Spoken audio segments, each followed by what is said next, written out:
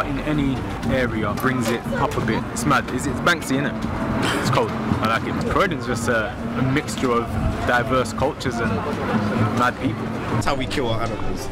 Put them on this plaques. so- No, look, suffocation, the plastic.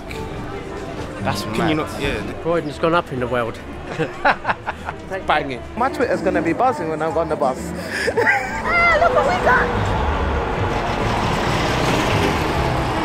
I see that the handbag is made of a brick, it's very symbolic. That's supposed to be the diabetes riddled corpse of Tony the Tiger. I'm not impressed with it. Nothing, nothing of it. Have you looked at the art pieces yourself? No. Oh, it's nice though.